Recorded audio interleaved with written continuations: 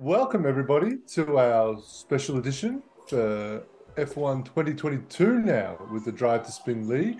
We have started off our preseason and we did our first race last week in Australia. And we have Dion here and a special guest from Haas, Greg. Welcome everyone. How you doing? G'day, g'day. Hey, Greg, good to have you on the podcast. First time? It's great to be here. It's first time. I've done a lot of radio interviews. I've done a lot of performing, but this is the most nervous I've ever been. So I'll That's try a to. worldwide audience too. Yeah. yeah, exactly. We've got a huge, YouTube famous. Yeah, we've got a huge, huge, huge, huge audience.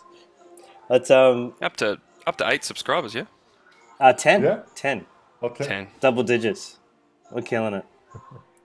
Fantastic. Yeah. So I think this is a pretty special race for me. I came first. Uh, spoiler alert. So pretty happy, pretty chuffed with um, how I did. But I think a, a really great result for the Haas Haas boys. You guys uh, double podium in second and Double third. podium. There I go, Yes. hitting Andre. Um, second and third, which was great to see. Which guys, which gave you guys first place in the constructor so far. We'll see how that goes. But how are you guys feeling about um, the rest of the season? I mean, it's it's still quite early. Uh, we've moved to 22, but what are your thoughts? Early days. Um, I like the game. I like the cars in 22 so far. Uh, I know that some of the guys don't particularly, um, but I've always liked. Um, yeah, I like the weight of the cars. They do definitely do feel different to to 21. Um, I like that you can. I feel that you can carry more speed through the sort of mid-speed corners. Um, so but they do feel a bit clumsy, you know, in some of the slower corner, corners. So I guess it's just adjusting and learning, you know, recalibrating the brain a little bit. Yeah, definitely. I feel like braking's the hardest or the biggest difference for me in this in this game.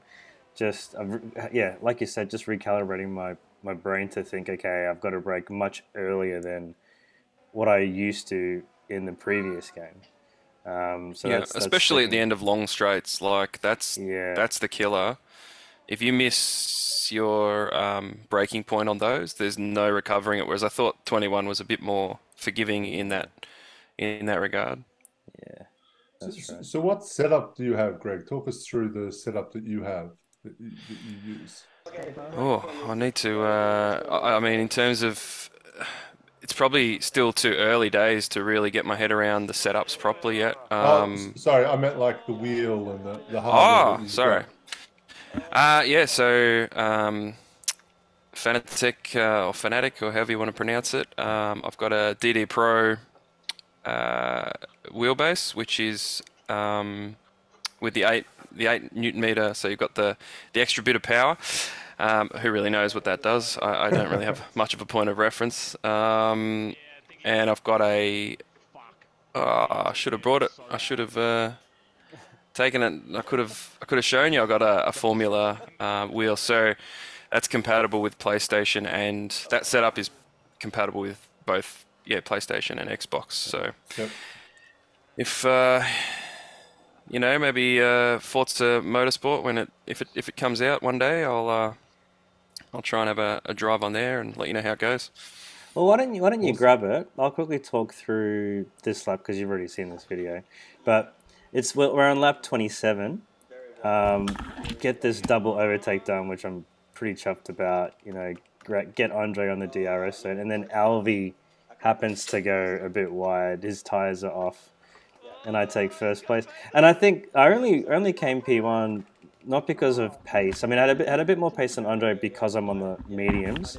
I think Alvi pitted at like lap 17 or 15 to go on the softs and tried to push it to the very end. So I think he was really pushing it to try and make it to the end on um, brand new softs, which is why he he went off at the track at the last moment, which gave me P1. But you can see now, Greg, you're you're sitting in P3, so you end up in P3. So talk us through what your race was like, because um, I was I was so focused on what I was doing. You saw come on, guys. I was so focused on what I was doing. I didn't realize you were in P3 until I actually crossed the finish line. So um, Yeah, so so turn one, as is usually the case with drive to spin, um, there's usually a bit of carnage, and I have been known to get caught up in, in that from time to time, and it, it's probably hampered a few of my races. But um, yeah, so I, I span, and I think I was in 20th or 19th after that um, from the first corner. Um, didn't break a wing, thankfully. Uh, and then from there, just yeah, just kept it on track and consistent, consistent yeah. driving. Um, and I tend to look after my tires pretty well, um, so I can push stints a little bit longer. Um, usually get a, you know, um, an overcut. I, I, sometimes do. I stay out a bit longer and, and manage to make up a few places there. Um, and yeah, but at the end, I had I got into um, the third position. I knew Pete was, you know, whatever he, how, however far he was, 14 seconds or 12 seconds or something behind me. Yeah. Um, and I knew I wasn't going to catch you, Andre, uh, up the front. So I went ultra conservative, just didn't want to. the end. Yeah. Yeah. Yeah. So, yeah. um, because I knew, yeah, all, all it's going to take from me is one spin, and yeah. Pete's going to be right on me. So right, and you would have lost P. You would have lost the podium. Yep. Yeah. Cool. Nice. Yeah, I think definitely in, in 22 the tire wear is is a lot more noticeable. Uh, the softs seem to go off a lot quicker. Um, so yeah, that tire management at the end, I think that'll that'll put you in good stead, Greg, if you can manage your tires um, well for the rest of the season. Yeah, I'm trying to remember what I did. I think I might have gone medium, soft, medium. Um, what am I on there at the end? You're medium. on the mediums, yeah. Yeah, so I must have. Yeah, I'm pretty sure I started. I did actually start mediums, uh, and I stayed out. Yeah, yeah, for quite a quite a while. Well, let's let's let's um, have a um, look at the race results. That'll show us. Actually, before the race results, this is interesting. on the podium. Look, look at here. you. Yeah. And, and I was that excited, I just completely lost, lost head. my head. yeah. I think that drew the um, cracked this up uh, on the night. It was hilarious. So you had you did two two pit stops.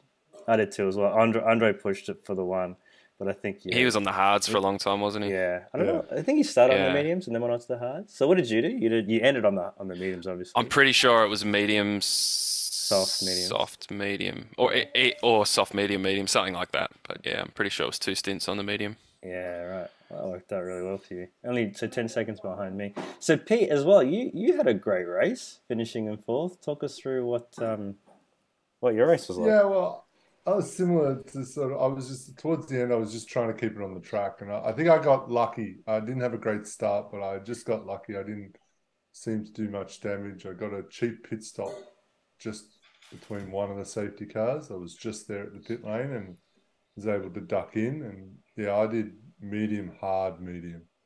All um, right. Yeah. Why'd you go medium, hard, medium? Ah, uh, because I didn't change it in quick enough. Right. Because because that stop, I literally just like like I was right at the pit entrance when I saw the VSC or, or the safety car was going to be deployed, and I just nicked in. I hadn't, you know, hadn't thought about pitting that right. soon. So right, right. Gotcha. It didn't. It, that... it didn't didn't hurt me too much because the hards, as I said, we were under the safety car a lot, so um, I got a good wear out of it. Cool. You gonna say something, Greg? Yeah, uh, that is one difference with um, 22 that um, I noticed, and just in a, I think we were doing a practice race last night was the the strategy, the tire strategies that is presented to you as the as it's the first so, option yeah. is pretty wacky. It is, and it? um, that's I think that's why I started on the medium because I didn't even notice. Um, yeah.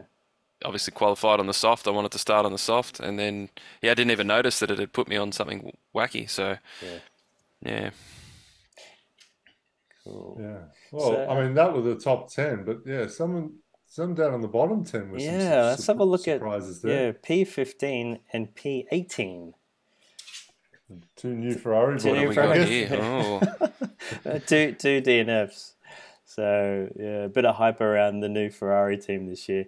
Um, bit of a disappointing finish for them on Monday, but let's see how they go in the races to come. Um, I think still getting used to the imitating life, isn't it?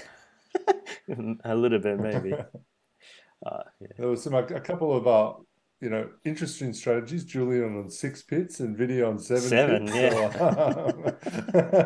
So, So Vinny had seven stops and managed to to get up there into 11th. That's pretty decent. He Yeah, did, yeah, he and did. and and he managed to beat Geordie. So I think I think that's another great thing to see. The games really mixing up um, the field a bit. You know, I mean, I, I think Geordie and Alvey they'll they'll adjust quite quickly. So I think next race will be different, but.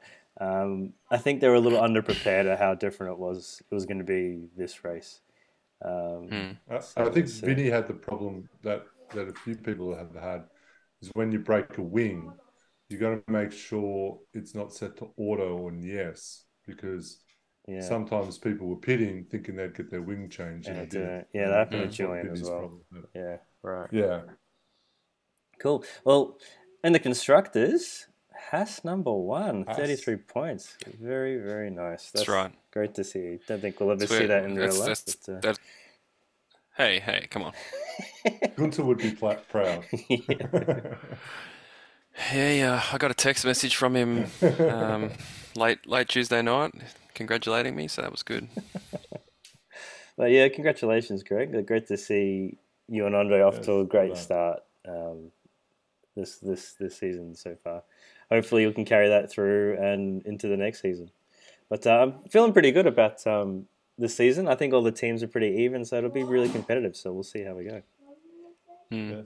And we, we have our next race in Miami. So if people haven't practiced that, I would highly recommend you practice that because it's a it's a tricky circuit. So I think there's going to be a lot of safety cars on that one. That's Yeah. my prediction. That's right. That's right. Cool. All right. Well, um, thanks, Greg, for joining us. yes, thank you, Greg.